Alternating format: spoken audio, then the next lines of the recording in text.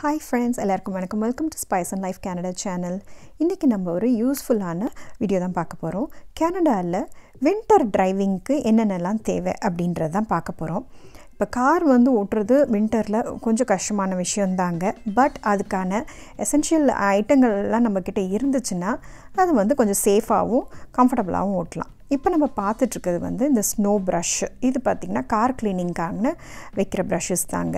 ஒன்று சின்னது இருக்குது பாருங்கள் அது வந்து சிம்பிளாக கார் நம்ம முன்னாடியெல்லாம் தட்டிடுறதுக்கு ஸ்னோ பெஞ்சஸ்னால் ஓகேவாக இருக்கும். பட் இது வந்து இந்த லாங்கர் ப்ரஷ் இது டெலஸ்கோப்பிக் அப்படின்வாங்க இதுதான் காருக்கு மேலே கொட்டி கிடக்கிற ஸ்னோ அதெல்லாம் வந்து கிளியர் பண்ணுறதுக்கு இல்லை பெரிய வேன் அந்த மாதிரிலாம் இருந்தாலும் கிளியர் பண்ணுறதுக்கு உதவும். இந்த எட்ஜில் வந்து நம்ம ஐஸ் எல்லாம் ஸ்க்ரேப் பண்ணுறதுக்கும் யூஸ் பண்ணிக்கலாம்.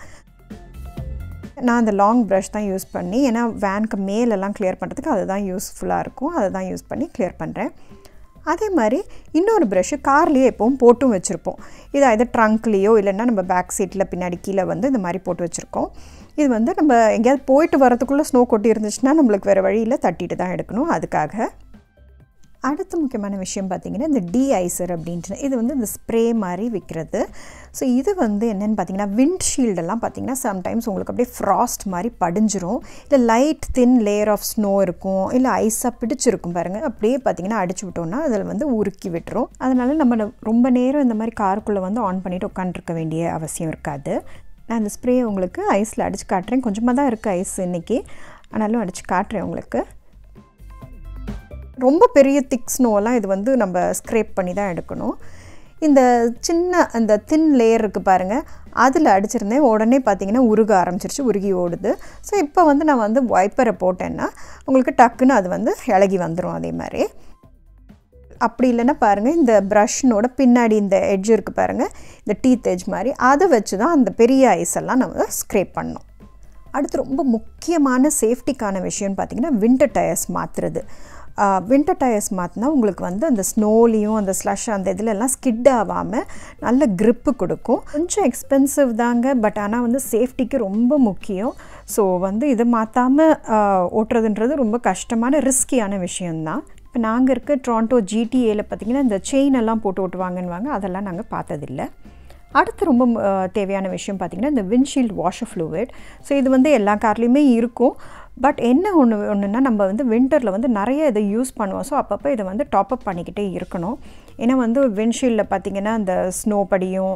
இன்னொரு மெயினானது வந்து சால்ட் நிறைய பார்த்திங்கன்னா ரோட்லேருந்து அடித்து வெள்ளை வெள்ளையாக பிடிச்சிரும். ஸோ அதுக்காக நிறைய டாப்அப் பண்ணிக்கிட்டே இருக்கணும் அப்பப்போ.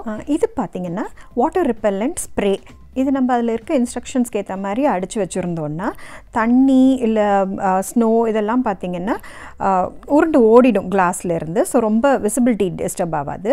அடுத்த ஐட்டம் பார்த்திங்கன்னா ஜம்ப் ஸ்டார்ட் கேபிள்ஸ் இது வந்து நம்ம கார் வந்து பேட்ரி டெட்டாகி இந்த மாதிரி ஸ்டாப் ஆகிடுச்சுன்னா அதை ஸ்டார்ட் பண்ணுறதுக்கு அது தவிர்த்து பேட்ரி பூஸ்டர் பேக்குன்னு இந்த மாதிரியும் வைப்பாங்க. இதை சார்ஜ் பண்ணி நம்ம ட்ரங்க்கில் வச்சுக்கிட்டோம்னாலும் எஸ்பெஷலி வந்து பார்த்திங்கன்னா கொஞ்சம் ஓல்டன் ஓல் ஓல்டு கார்ஸ் வந்து வின்டரில் வந்து நிறைய ஸ்டாப் ஆகிறதுக்கு சான்ஸ் இருக்குது அப்போ வந்து இன்னொரு கார்னோட ஹெல்ப் இல்லாமலே நம்ம வந்து இதை வச்சு ஸ்டார்ட் பண்ணிக்கலாம்.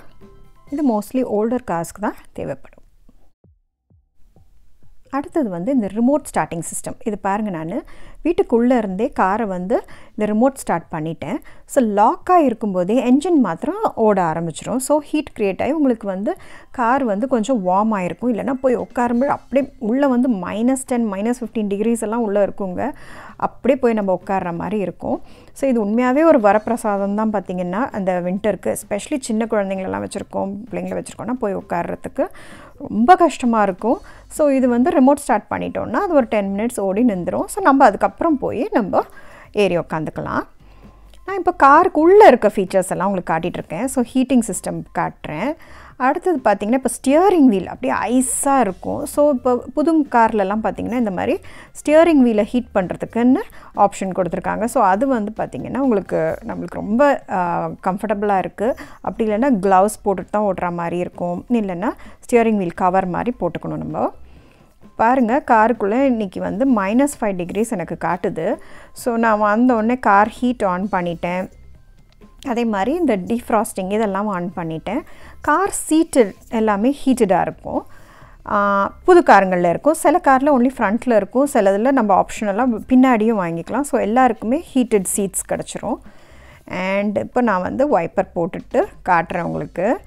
அடுத்தது என்ன இருக்கும் பார்த்தீங்கன்னா உள்ள காரில் இந்த கிளைமேட் கண்ட்ரோல் இதுதான் நம்ம ஹீட்டிங் சிஸ்டம் ஸோ இது வந்து நம்மளுக்கு என்ன மாதிரி மோட் தேவை? மேலேருந்து அடிக்கணுமா? காலுக்கு மாத்திரம் ஹீட் வந்தால் போதுமா? அந்த மாதிரி ஆப்ஷன்ஸ்லாம் இருக்குது லாஸ்ட்டாக பார்த்தீங்கன்னா இந்த மாதிரி ரப்பர் மேட்ஸ் ரொம்ப அவசியங்க வின்டருக்கு அப்படியே நம்ம ஸ்னோவோட அந்த சால்ட்டோட உள்ளே வந்து ஏறி உட்காருவோம். ஸோ அந்த கார் தரையெல்லாம் கார்பெட்டாக இருந்துச்சுன்னா வீணாக போயிடும்.